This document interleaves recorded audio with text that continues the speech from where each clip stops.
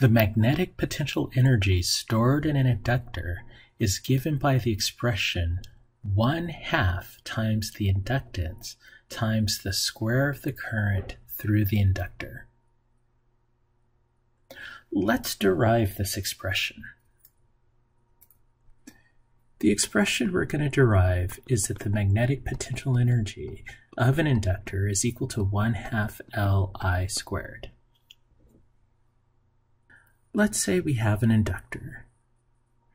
This inductor has inductance L and a current running through it. This current running through the inductor is running through it from left to right.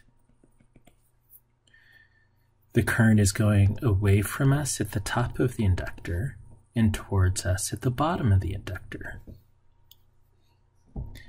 This current, current establishes a magnetic field going to the left as we could show by the application of the right-hand rule.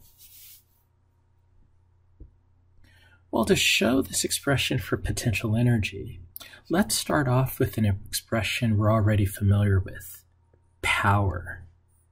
Now remember, power is given as the product of the current of a circuit component and the potential difference of that circuit component.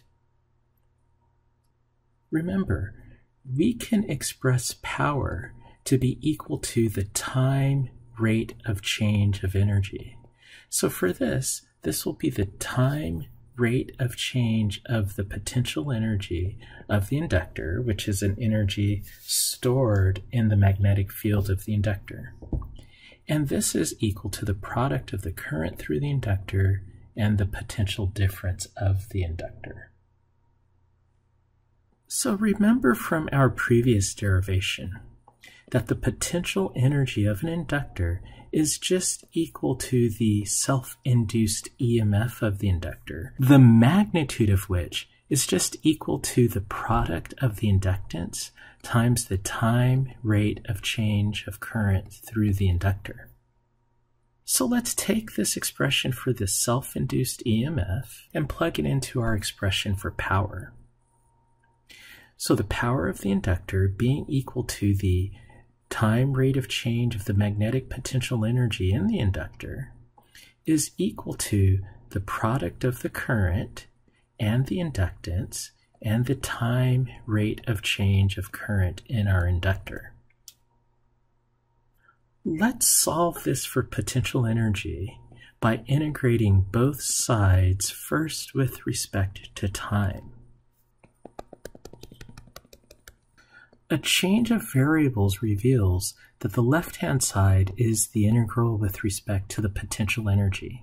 And let's evaluate this from some initial time where we have zero potential energy to some final time. So we'll say we'll allow the current in the inductor to increase. Now the right-hand side is just simply the integral with respect to the current of the product of the current and the inductance. And again, from some initial current of zero to some final current. When we evaluate the derivative, we have the potential energy stored in the magnetic field from some zero initial potential energy to some final potential energy is equal to 1 half the inductance of the inductor, of the inductor times the current squared evaluated from zero to our final current.